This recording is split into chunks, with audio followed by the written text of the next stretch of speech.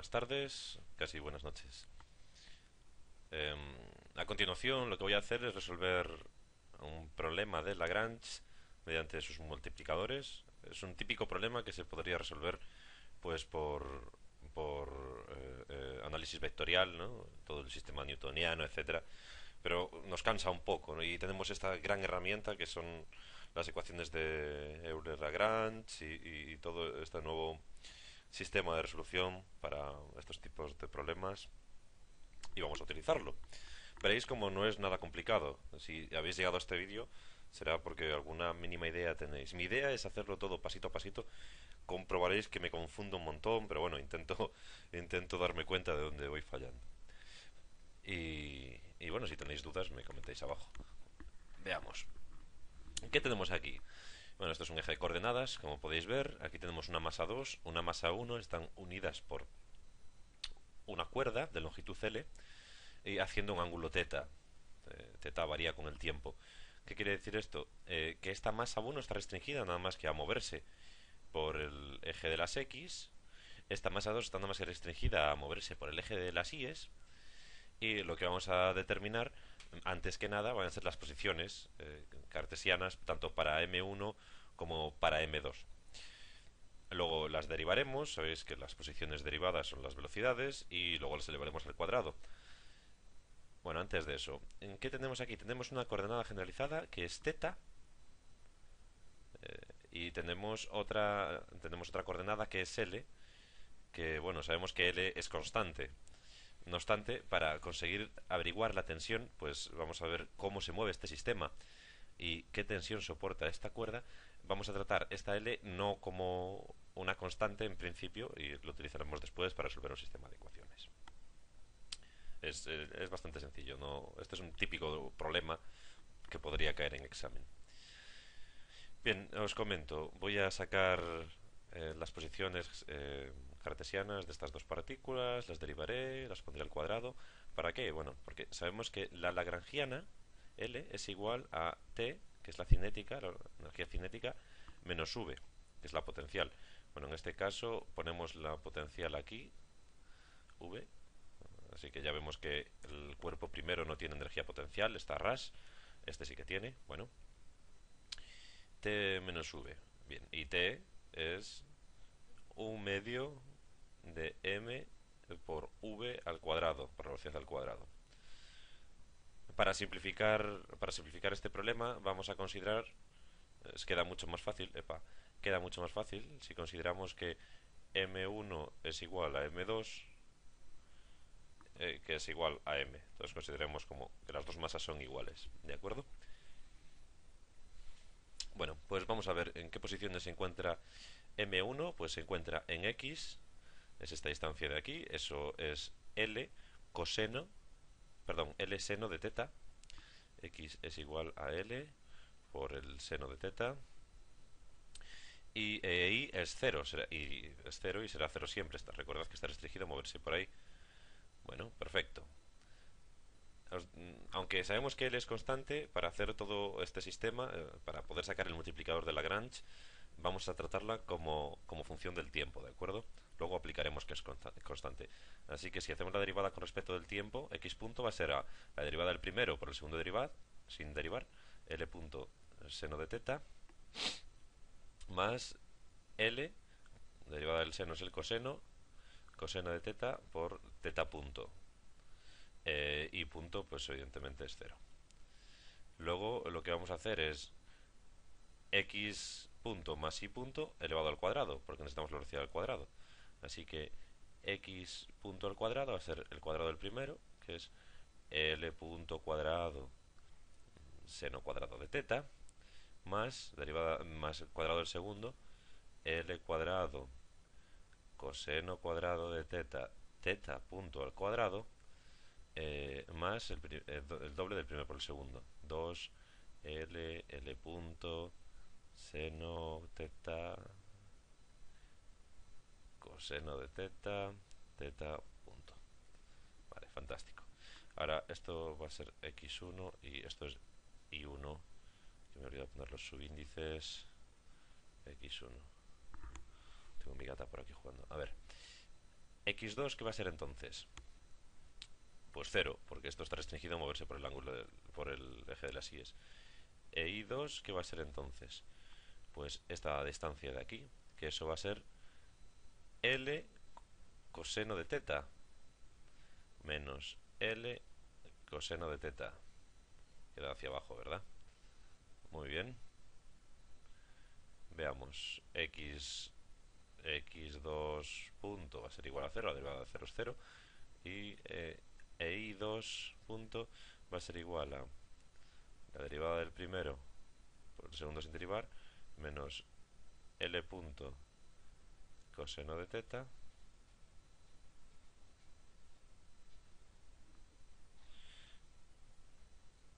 Mm, no me gusta ese menos. Creo que no es menos. Dejadme chequear un momento. Tengo aquí el encenarro que es un pedazo de libro como ya muchos conoceréis probablemente. Eh, vamos a ver, coordenadas generalizadas. Sí, sí, es correcto correcto, es correcto. De este de aquí, menos L punto coseno de teta, la derivada del primero por el segundo sin derivar, y ahora eh, la derivada del primero por el segundo derivado. L seno de teta, eh, teta punto. Ahora hacemos como antes, lo elevamos todo al cuadrado y queda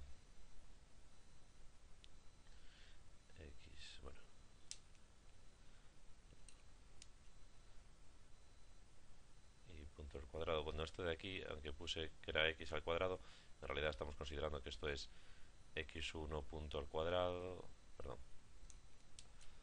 A ver, que estoy haciendo aquí un forrancho. Vamos a ver. Quita. Vale. Esto, aunque he puesto nada más que x punto, lo que estamos considerando es que estamos haciendo x1 punto más y1 punto al cuadrado, ¿de acuerdo? Lo único es que como esto es cero, pues no lo hemos, no lo hemos tenido en cuenta. Y aquí estamos haciendo, vamos a hacer lo mismo. Aquí lo que vamos a hacer ahora es x2 punto más y2 punto elevarlo al cuadrado. x2 punto es 0, así que ya no, no cuenta. Por tanto, y2 punto al cuadrado es igual al cuadrado del primero, l punto cuadrado coseno cuadrado de teta más cuadrado del segundo, L cuadrado seno cuadrado de teta, teta cuadrado, teta punto cuadrado, menos el primero por el segundo. L, L punto, seno de teta, coseno de teta, teta punto. Bueno, y un 2 aquí. Correcto. Bueno, tenemos ya las velocidades generalizadas, la del primero y la del segundo. Por tanto, la T va a ser igual a T1 más T2. Eh, la, primera va a ser un medio de M de M1 V1 al cuadrado, que es esto de aquí. Así que va a ser un medio de M por L punto cuadrado seno, de seno cuadrado de teta más L cuadrado coseno cuadrado de teta. De teta cuadrado. Más 2 ll punto seno de teta coseno de teta teta punto. Más más un medio de esto es m1 de m de m2 por la velocidad de m2, que es esto de aquí. L punto cuadrado seno cuadrado de teta más L cuadrado, eh, perdón, coseno. Claro, voy ahí arriba.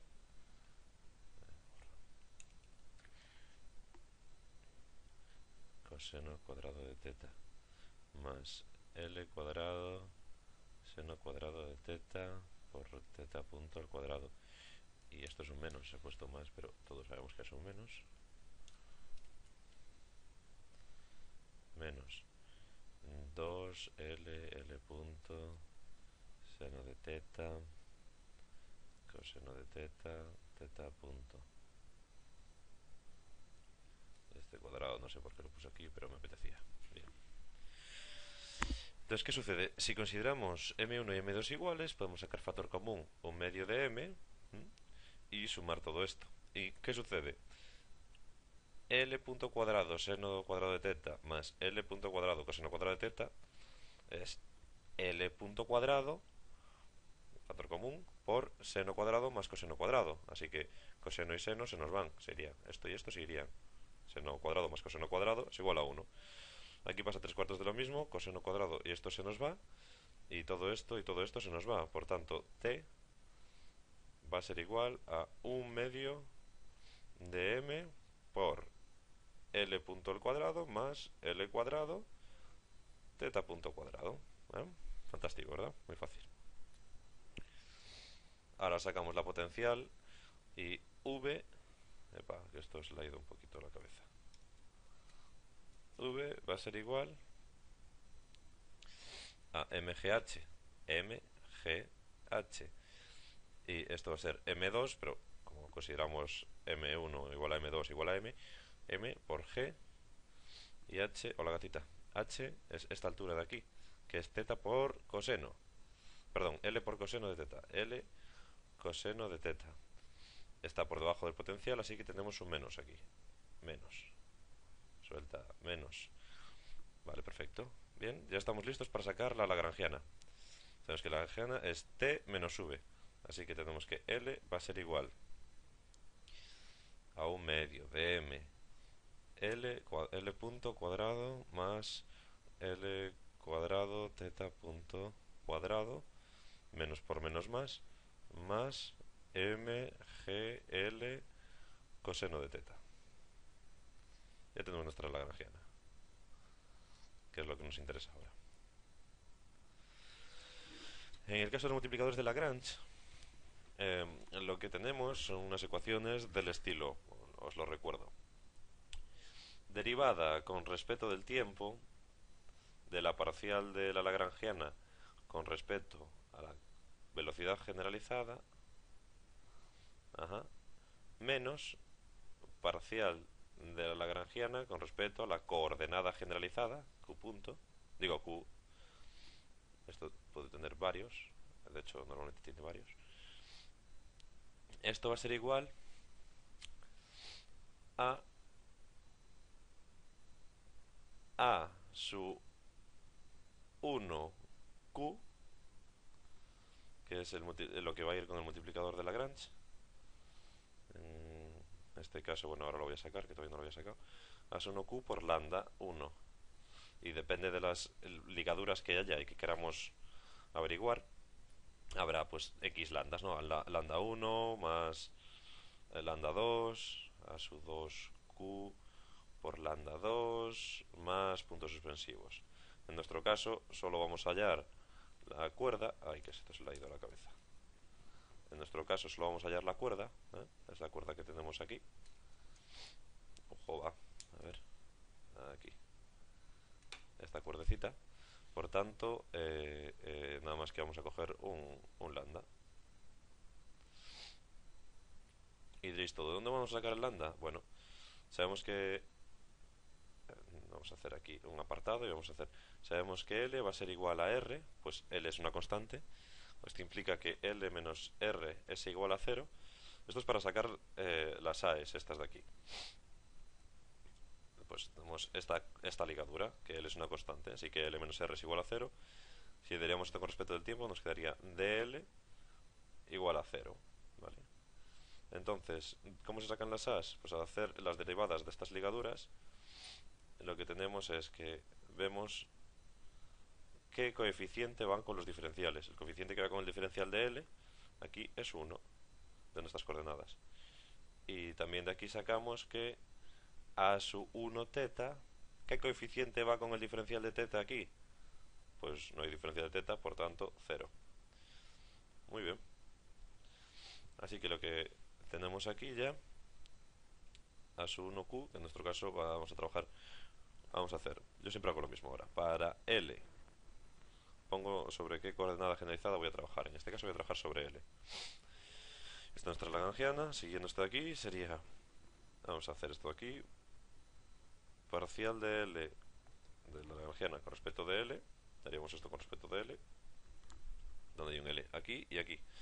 Pues tenemos que ml teta punto cuadrado, ml teta punto cuadrado, y la derivada de aquí, pues con respecto de L, va a ser igual más mg coseno de teta. Muy bien. Y ahora, parcial, bueno, derivada con respecto del tiempo de parcial de L con respecto de L punto, esto va a ser, ¿dónde hay L punto? Aquí. M L punto. Diferencial con respecto, o sea, derivada con respecto del tiempo. No me gusta mucho cómo me quedó esto, voy a borrarlo un poquito. Bueno, veis por qué simple, bueno, lo hago, si queréis lo hago un poco más despacio, pero evidentemente veis lo que hago, ¿no? Derivo esto con respecto de L punto y nos quedaría 2 por un medio de M L punto. Entonces esto y esto se nos va. Nos quedaría derivada con respecto del tiempo de esto de aquí que hemos hecho. Esto y esto se nos va, así que nos queda d derivada con respecto al tiempo de esto de m punto. Y esto es igual a m l dos puntos. Por tanto, vamos a sacar ya la primera ecuación, que es esto de aquí abajo menos esto de aquí arriba igual a, ¿veis? Pues será ml punto punto menos ml teta punto cuadrado menos, esto es menos. Vamos a ver si va bien. Sí, correcto, sí. Menos mg coseno de teta. Esto es igual a a su 1 L por lambda 1 y, solo hay una lambda, así que es a su L por lambda y a su L le hemos sacado aquí que es 1, así que esto es igual a lambda. Venga, vamos a sacar lo siguiente. Esto, cada vez que bajo se le va la cabeza, ¿verdad? Ahora, para teta, que es nuestra otra coordenada generalizada. Pues parcial de L, parcial de teta, tenemos la lagrangiana aquí arriba. Pues solo hay esta teta de aquí. Así que es menos mgl seno de teta. Menos mgl seno de teta. Bueno, borra, borra, borra. Y ahora es la parcial de la lagrangiana, la derivada con respecto del tiempo de la parcial de naranjada con respecto a L punto. Solo hay este L punto. Baja este 2, se quería 2 por un medio, sería 1 por m L cuadrado teta. Punto. m por L cuadrado teta punto. Y esto es la derivada con respecto al tiempo de esto de aquí. Bien, recordamos, consideramos esta función del tiempo, nos va a quedar 2ml L punto la derivada del primero por el segundo sin derivar, z punto, más ml cuadrado punto punto. ¿Vale? Fácil, ¿verdad? Ahora sacamos la, la, ecuación. Nos quedaría esto menos esto, así que queda 2mll punto teta punto más ml cuadrado teta punto punto. Ya empieza ahora algo bastante interesante. Más, porque es esto menos esto, esto es menos, así que tenemos un más. mgl seno de teta igual a a 1, a 1 teta, que es 0, por lambda 1, así que esto es igual a 0. Y de aquí ya vamos a sacar una de las ecuaciones del movimiento. Veréis. Bueno, eh, antes de nada, ahora sí que tenemos tenemos tres ecuaciones, aquí ahora tenemos dos, dos, ecuaciones con tres incógnitas, ¿no? Una, o sea, lambda, teta y L.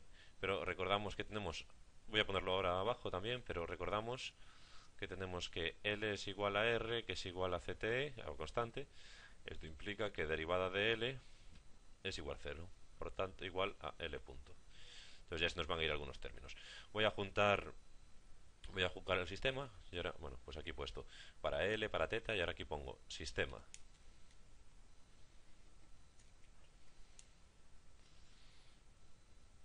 Sistema. ¿Vale? Y empiezo a escribir sistema. ml punto punto menos ml teta punto cuadrado menos mg coseno de teta igual a lambda.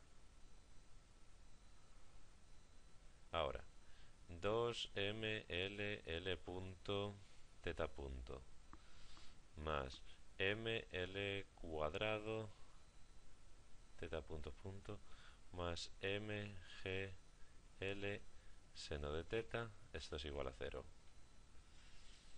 Y ahora L igual a R implica que L punto es igual a 0. Y aquí tenemos nuestro sistema. Tres ecuaciones con tres incógnitas. Primero de todo, vemos que esto se nos va, porque es... Bueno, esto implica que la segunda derivada con respecto al tiempo también es 0, por eso se nos va. Aquí tenemos otro 0, esto se nos va. Así que aquí tenemos m, l cuadrado, teta punto punto, más mgl seno de teta, igual a 0. Pues vemos que tranquilamente podemos cargarnos esta m, esta m, llevarnos esta l con esta l y nos queda de aquí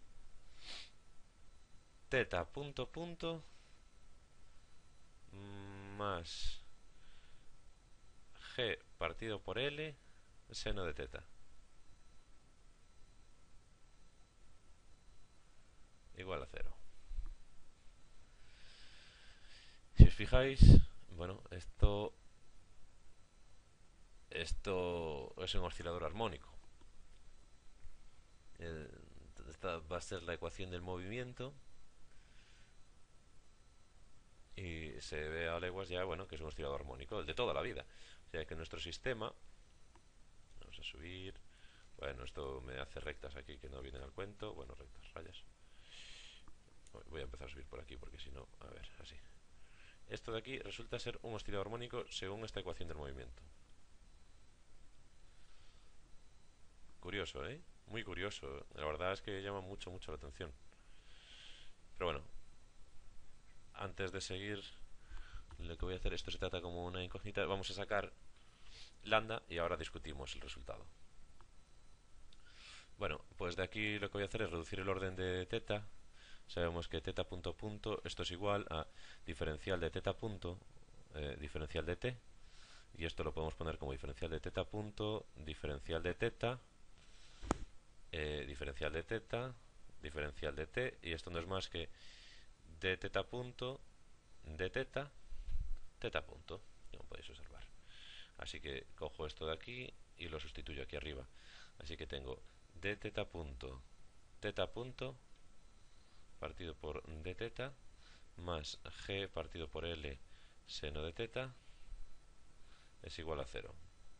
Pasamos esto al otro miembro y le largamos el diferencial de teta, nos quedaría que teta punto de teta punto es igual a menos g partido por l seno de teta de teta. Integramos integramos integramos desde una velocidad inicial en teta teta inicial hasta un teta punto final y desde un cierto teta inicial hasta un teta final. Bueno, caray. Esto que no me deja bajar pinchando.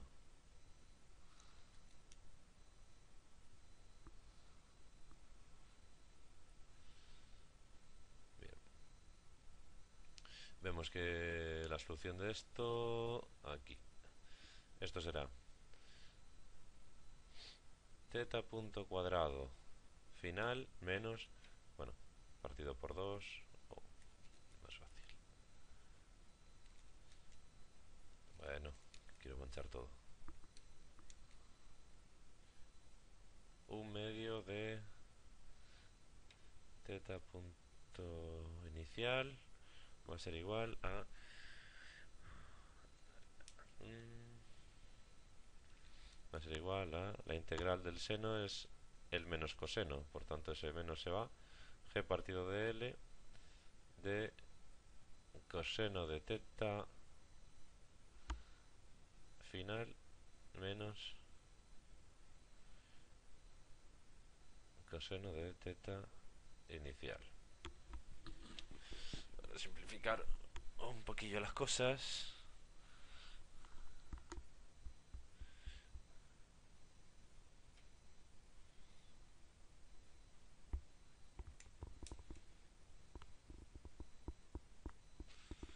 para simplificar un poquillo las cosas, ¿eh? que nos resulte más fácil luego ver cómo se nos mueve el sistema, lo que vamos a suponer es que el teta inicial va a ser igual a pi y teta teta punto inicial va a ser igual a cero, ¿vale? Entonces con estas dos cosillas que tenemos en cuenta, coseno de pi medios esto se nos va a cero y el teta inicial, que es este de aquí, se nos va a cero. Esto es por dejarlo así más o menos, ¿sabéis? Por tanto, este 2 va a ir para allá, multiplicando, y tenemos que teta punto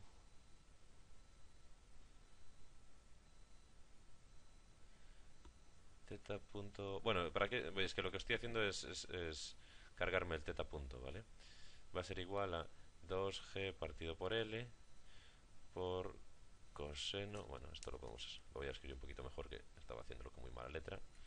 Teta punto al cuadrado es esto por 2gl coseno de teta final.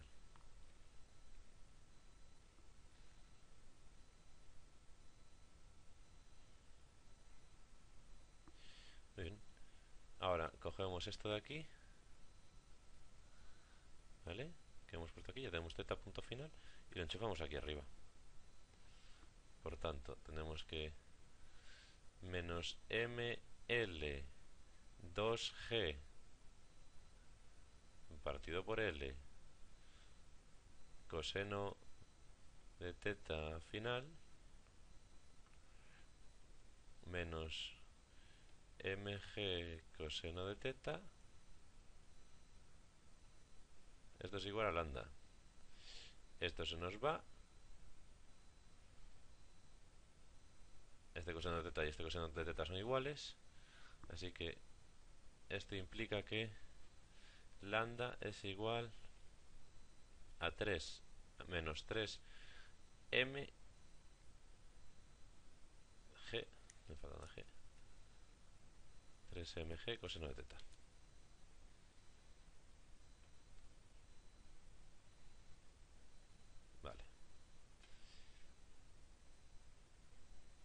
Fantástico. Bien, pues ya tenemos la ecuación del movimiento, que es esto de aquí, y el, multiplicador de Lagrange, que es esto de aquí, que con esto vamos a sacar la fuerza, la fuerza de la ligadura, que es eh, la de la cuerda, y lo otro es el movimiento. Esto de aquí que tenemos es un oscilador armónico simple. ¿Qué quiere decir? Bueno, es muy fácil. Si esto dejamos en un punto, si lo separamos eh, pi medios en un momento inicial, por el peso de esta masa de aquí, esto se va a ir hacia aquí, esto va a ir bajando, llegará a un mínimo, y por la inercia esto seguirá hasta aquí, esto subirá hasta que se pare. Y eh, ahora, ahora coge el teléfono. Esto seguirá hasta aquí, hasta que esto suba y se pare. Llegado a tal punto, esto volverá a bajar y esto volverá a ir para aquí. Llega hasta aquí un punto, que esto llega hasta el mínimo, esto llega hasta el máximo en las X y vuelve para aquí, esto vuelve a bajar. Vamos, sería algo así como... Si esto está así, esto va hacia así, llega a un mínimo, empieza a subir, baja y sube, baja y sube, bueno, sube, es un poco complicado, pero lo que veis es que es un péndulo, como si os fijáis, si cogéis el centro de masas, ¿eh? lo que sería por aquí, el, el camino que va haciendo el centro de masas cuando esto está aquí, esto bajará hasta aquí. Y el centro de masa estará por aquí. Y cuando esto esté aquí en el medio, esto llegará hasta aquí, el centro de masa estará por aquí. Va a ser algo así como esto. es un oscilador armónico. ¿Vale? Voy a borrar todo ese forruncho que he hecho. Y por otro lado, eh, la fuerza generalizada, la tensión que soporta la cuerda, eso quiere decir que esta cuerdecita de aquí, la tensión que va a soportar, es justo y exactamente esto aquí, 3 veces mg coseno de teta. Claro, diréis, joder, menos 3, ¿no? ¿A qué vendrá este menos 3? Bueno, os recordáis que la, que la, que la ligadura era que L era igual a R constante. Y de aquí sacábamos que L menos R es igual a 0. Esto implica que, bueno, la derivada sería de L, de, uy, de L de L igual a 0 y de aquí sacamos que A su 1L era igual a 1. Pero perfectamente, en vez de hacer esto, nosotros podríamos decir que R menos L, pues llevamos la L para allá, es igual a 0. Y hacemos el mismo desarrollo y nos quedaría que A1L es igual a menos 1. Por tanto, da un poco igual, veis que es un poco arbitrario ese signo menos. Eso sí, lo que está claro es que si pusiésemos una cuerda que soportase una fuerza inferior a esto de aquí, a 3mg coseno de teta, eh, la fuerza máxima será cuando el coseno sea 1, es decir, esto llega coseno de teta, ¿cuándo, ¿cuándo, el coseno de teta es igual a 1? Cuando, cuando teta es igual a 0, es decir, cuando no hay ángulo, aquí, si esto es pi medios, aquí ya no hay ángulo. Así que justo cuando está así está soportando la mayor tensión. Y luego menos, hasta que llega aquí. Y luego menos, ¿vale? Pues si ponemos una cuerda que soporte menos de 3 mg, imaginad que la masa es un kilo. G, vamos a cogerlo como 10. O sea que soportase menos de 30 newtons, eh, la, la cuerda partiría. Está muy bien para estas cosas, la verdad es que es muy, muy, muy interesante. Y ya está. Es un problema sencillo, tipo examen de multiplicadores de Lagrange. Veis que en realidad eh, casi todo es cálculo, que no tiene pérdida, que son seguir cálculos adelante, ¿no? Lo chulo es esto, ¿no? Coger y decir, coño, ¿qué, será esto de aquí? Bueno, esto, si estudiáis física o asignatura de física, en cualquier lado ya sabéis que esto es un oscilador armónico. Y, pero bueno, eh, no, sé, a mí me parece súper bonito, la verdad. Ya son, ya son cosas personales. Pues nada, espero que hayáis disfrutado la resolución de este problema. Problema de multiplicadores de Lagrange con eh, dos coordenadas y una ligadura. En total tres. Un sistema de ecuaciones de tres incógnitas y tres ecuaciones. Aquí lo tenemos. Y nada, más adelante pondré más. Chao.